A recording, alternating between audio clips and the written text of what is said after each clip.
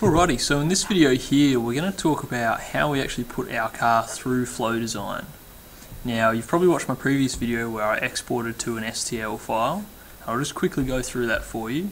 So in order to do that you need to right click at the very top of the browser here and go down to save as STL in which case you'll get this dialog box. From this dialog box here don't worry about this send to 3D print utility, leave that non-ticked, so we want it just the way it is right now, and we hit OK. It'll bring up a folder where you'd like to save it, so preferably in your student folder would be great, um, and you can just name it first car or second car or whichever one it is. Um, and once you've done that you hit the save key there. So I, as you can see I've already got mine saved as first car. Now next thing I need to do is go into flow design and I'm going to need to import my car and get it going.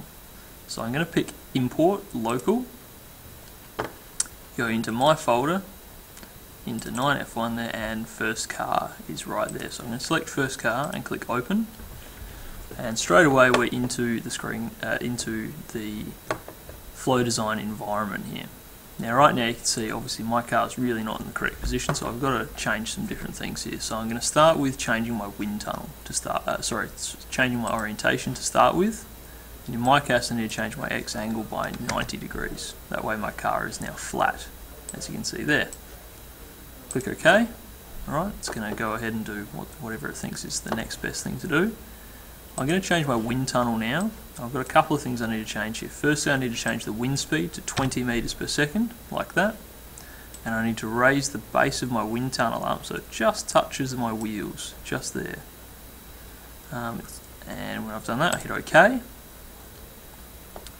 Now, as you can see, right now we've got a 2D plane down the middle of the car. So if I adjust this to on an angle, you can see it's only testing that small amount of the car. And sometimes this can be useful if we move that to the center of the car, other times not so much.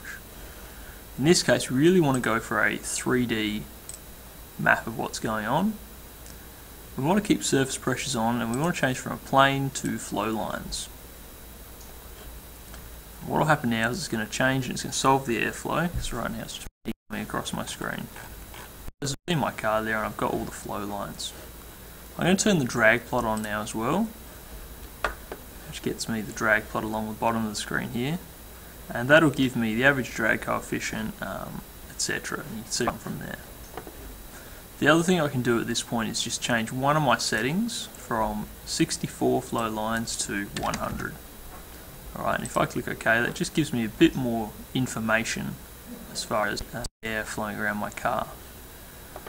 Now I can adjust my angle if I need to, to start to have a look at where I've got areas of high pressure or lower pressure.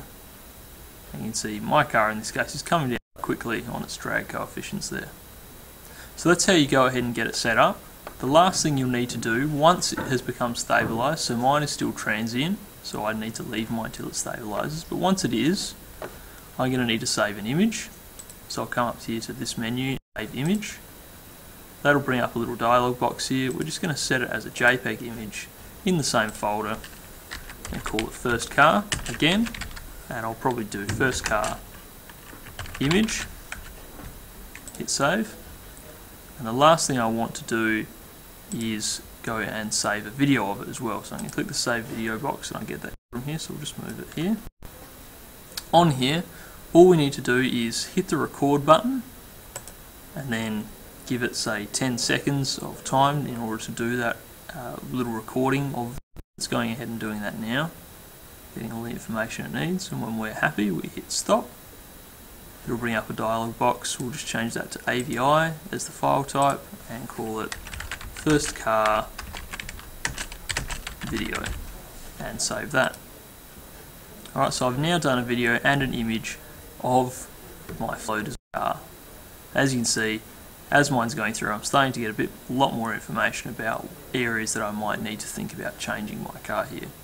As you can see, there's a lot of uh, velocity or pressure on the front of my wheels and at the front of my canister housing here, meaning the air doesn't flow so great around those areas.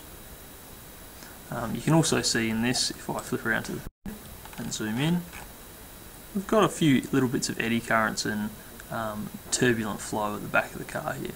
Mostly, however, we're getting a lot of laminar flow, which is great, especially if we look against the car here, we can see where the line's going around the car. And mostly they flow around nicely. Some get caught up and go in interesting directions, however. So hopefully that helps you to for testing for your F1 car and save off all that information. Thanks very much for watching. See you in the next video.